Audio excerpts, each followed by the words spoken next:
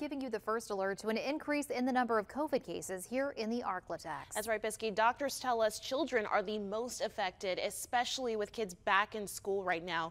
KSLA's Tamer Knight reports. Doctors say they are seeing the usual summer surge in COVID cases. This is the COVID normal we, we, that we've seen the past four years. With the increased number of cases, there has been an established pattern of the virus in both adults and children. Dr. Vanchiere with Ochsner LSU Health says one out of three children have tested positive for COVID one out of four eh, or one out of three tests for COVID among kids are positive uh, in our area. And this is because we're in the middle of this sort of summer surge of COVID activity. With school back in session, doctors say they are expecting the summer surge to run a little longer.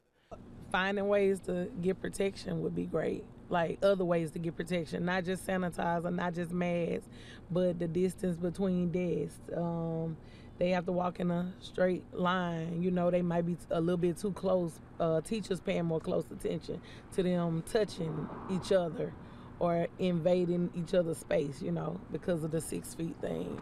Parents hope that administrators will take the necessary precautions to keep students safe. Some parents don't know their kids sick. And then the kid get to school, get to sneezing and coughing, and then the teacher don't really catch it. Or if they do catch it, they tell them, you know, to cover their mouth. You basically passing the germs. So it turns out new research shows that Louisiana has the second lowest vaccination rate in the U.S., with Oklahoma coming in third.